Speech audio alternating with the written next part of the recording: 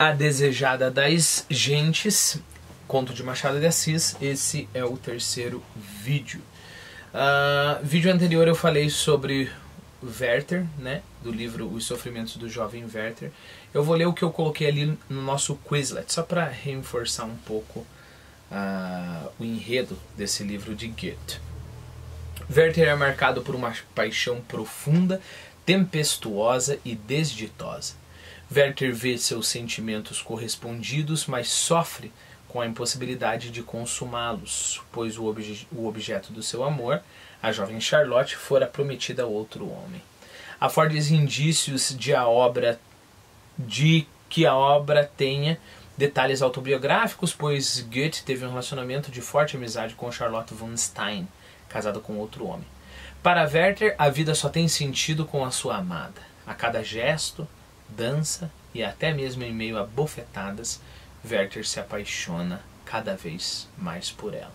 E aqui eu tenho, eu coloquei, eu acredito, deixa eu ler para vocês, uma passagem da, do livro.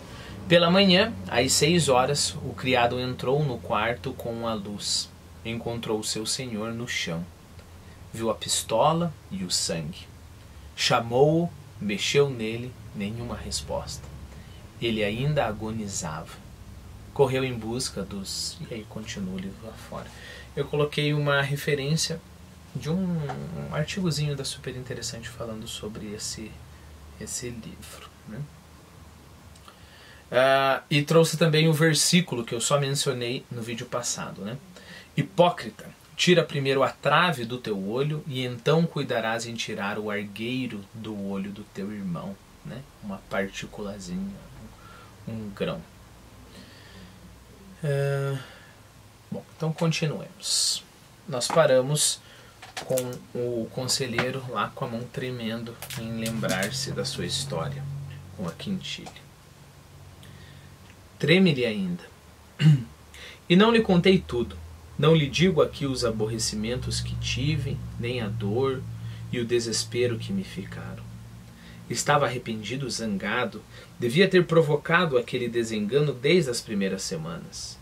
Mas a culpa foi da esperança, que é uma planta daninha que me comeu o lugar de outras plantas melhores.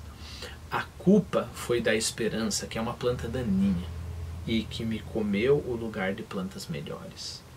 No fim de cinco dias saí para Itaboraí, onde me chamaram alguns interesses do inventário de meu pai. Quando voltei, três semanas depois, achei em casa uma carta de quintilha.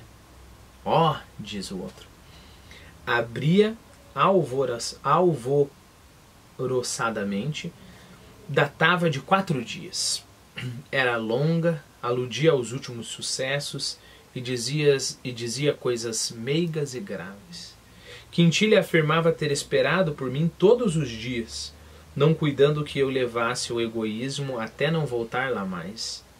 Por isso escrevia-me, pedindo que fizesse dos meus sentimentos pessoais e sem eco uma página de história acabada, que ficasse só o amigo e lá fosse ver a sua amiga. E concluía com essas singulares palavras: Quer uma garantia? Juro-lhe que não casarei nunca Compreendi que um vínculo de simpatia moral nos ligava um ao outro, com a diferença que o que era em mim paixão específica era nela uma simples eleição de caráter. Éramos dois sócios que entravam no comércio da vida com diferente capital. Eu, tudo o que possuía, ela, quase um óbulo. Óbulo é uma moeda grega antiga sem valor, que é de baixo valor, né? de pouquíssimo valor, quase sem valor.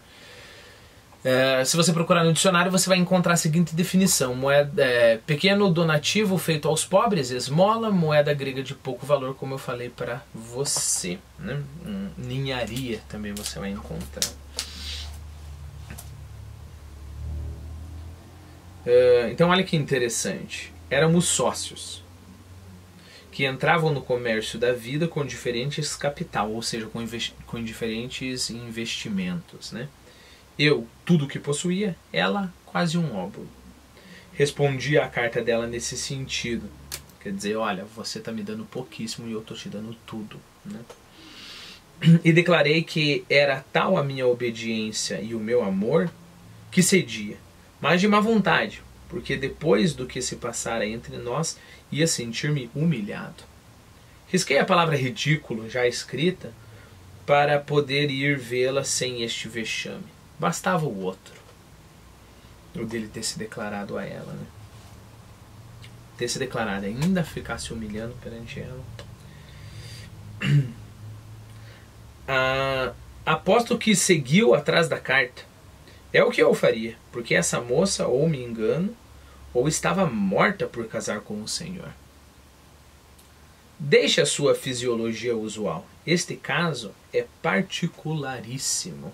Lembre-se que fisiologia, o que é fisiologia? Eu, eu, coloquei ali, né? O estudo das funções e o funcionamento normal. Essa palavra é importante dos seres vivos, né? Você espera que uma pessoa, quando expõe a mão ao fogo, retire a mão automaticamente por sentir dor, né? Há uma não é um não é um retirar deliberado, né? Um retirar automático.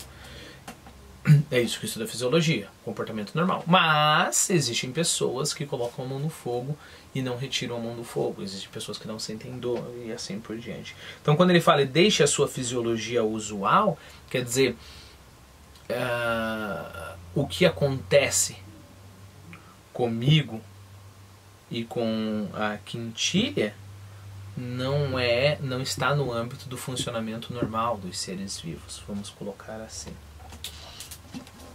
Deixe a sua fisiologia usual. Este caso é particularíssimo. Deixe-me adivinhar o resto. O juramento era um anzol místico. Depois o Senhor depois o Senhor que o recebera podia desobrigá-la dele, uma vez que aproveitasse com a absolvição. Mas enfim correu à casa dela. Não corri. Fui dois dias depois. No intervalo, respondeu ela à minha carta com um bilhete carinhoso, que, rema que rematava com esta ideia: Não fale de humilhação onde não houve público. Fui, voltei uma e mais vezes e restabeleceram-se as nossas relações. Não se falou em nada. Ao princípio custou-me muito parecer o que era dantes. Depois, o demônio da esperança veio pousar outra vez no meu coração. E sem nada exprimir, cuidei que um dia, um, um dia tarde, ela viesse a casar comigo. E foi essa esperança que me retificou aos meus próprios olhos na situação em que me achava. Os boatos de nosso casamento correram o mundo, chegaram aos nossos ouvidos. Eu negava formalmente e sério. Ela dava de ombros e ria. Foi esta fase da nossa vida a mais serena para mim.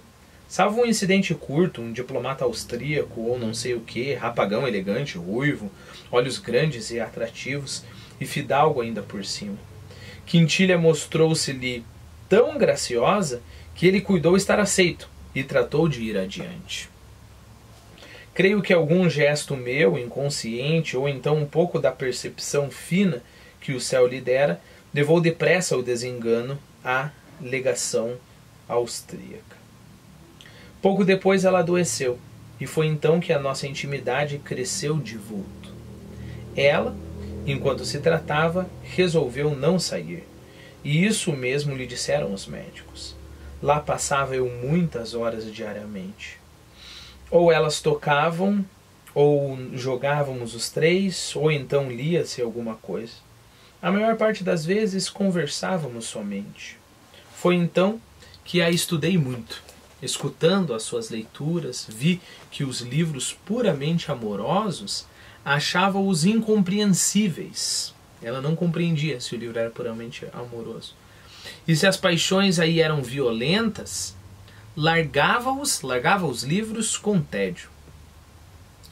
Não falava assim por ignorante, tinha notícia vaga das paixões e assistira a algumas alheias. De que moléstia padecia? Da espinha. Os médicos diziam que a moléstia não era talvez recente e ia tocando o ponto melindroso. Chegamos assim em 1859. Desde março desse ano, a moléstia agravou-se muito. Teve uma pequena parada, mas para os fins do mês chegou ao estado desesperador. Nunca vi depois criatura mais enérgica diante da iminente catástrofe. Estava então de uma magreza transparente, quase fluida. Ria, ou antes, sorria apenas, e vendo que eu escondia as minhas lágrimas, apertava-me as mãos agradecida. Um dia, estando só com o médico, perguntou-lhe a verdade. Ele ia mentir, ela disse-lhe que era inútil, que estava perdida. Perdida não, murmurou o médico. Jura que não estou perdida? Ele hesitou, ela agradeceu-lhe. Uma vez, certa que morria, ordenou o que prometera a si, a si mesma. Casou com o Senhor, aposto. Não me, não me relembre essa triste cerimônia. Ou antes, deixe-me relembrá-la, porque me traz algum alento do passado. Não aceitou recusas nem pedidos meus. Casou comigo à beira da morte. Foi no dia 18 de abril de 1859. Passei os últimos dois dias, até 20 de abril, ao pé da minha noiva moribunda. E abracei-a pela primeira vez, feita cadáver. Tudo isso é bem esquisito. Não sei o que dirá a sua fisiologia. A minha, que é de profano, crê que aquela moça tinha ao casamento, tinha ao casamento uma aversão puramente física. Casou meio defunta, às portas do nada. É, desculpe, casou meio defunta, às portas do nada. Chame-lhe monstro, se quer, mas acrescente divino.